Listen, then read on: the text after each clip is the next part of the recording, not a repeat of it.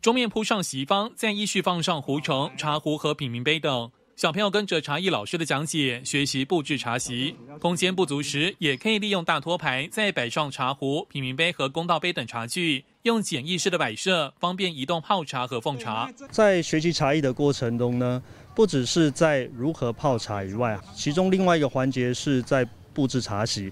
在这两个大的主题中呢，都会学习慢慢沉浸自己的心理因素跟状态，同时在动作上也学习到缓慢。柔顺跟有条理。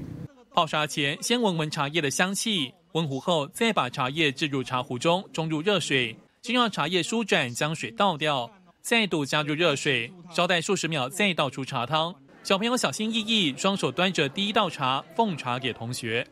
倒茶的时候，我觉得好兴奋，学会泡茶，然后可以泡给家人或朋友喝。学习茶艺。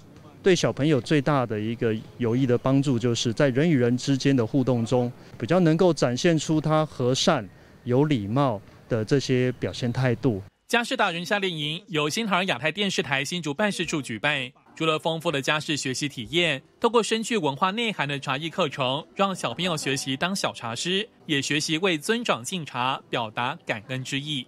今天敬茶我很开心，妈妈也很开心，很好玩。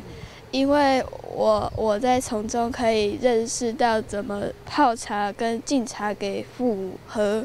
小朋友从摆茶席呀，然后他们也会觉得蛮好玩的，像家家酒这样子，然后又很优美，然后再就是说以一个很沉静的心，然后奉茶给父母。